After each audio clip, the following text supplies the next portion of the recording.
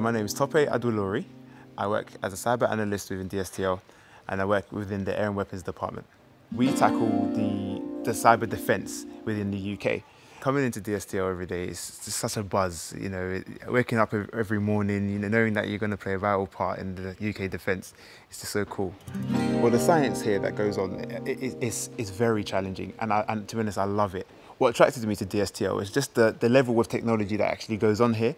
It, it has to be cutting edge, it has to be precise in order to protect the UK from any threats, from any, any sort of problems it may face in the future. Well, I completed a master's degree in electrical and electronic engineering.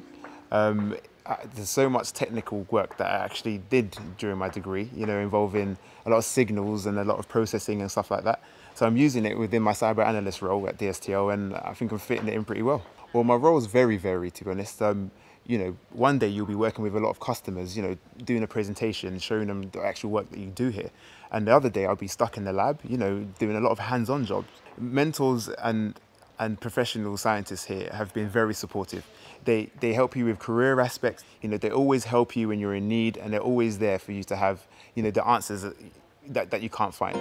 Well, the project that's most interested me in DSTL is me travelling to different um, RAF bases in the UK, testing helicopters and the defence mechanisms on it. What I liked about the project is it was really high profile. Um, knowing that you're saving a lot of people's lives in the process is, is a satisfying feeling. Well, 12 months ago, um, I would never would have thought I would have so much responsibility, you know, working for a company that plays a such vital role within the UK defence um, it's a good responsibility and I'm liking it.